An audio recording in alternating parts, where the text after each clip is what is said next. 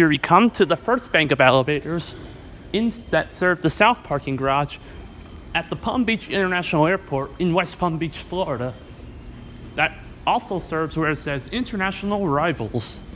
This is near the baggage claim. They are Montgomery Golden Parallelogram with innovation. With innovation premiere on the outside. That one, See, that one's open over here, Jules. oh, the bell here is still lit. Oh, it's on up peak mode. Seven.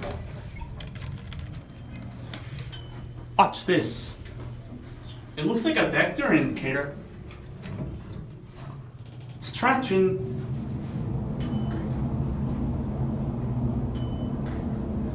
This is sort of like the one at Walt Disney World we got to Dolphin. Go all the way up without stopping. It's enough. This is the fastest elevator in the terminal. Here we are at seven. Let's see if we can get off and ring the bell before going down. What are you gonna do? Ring the bell before I get back to going down. Let's go down. Electronic chime on this floor. Let's go to one. Are the different floors ready? Ready? We're gonna jump when it goes. One, two, three, jump! Just your basic Montgomery elevator. Here are the fixtures. Adam Survivor. A series vector indicator.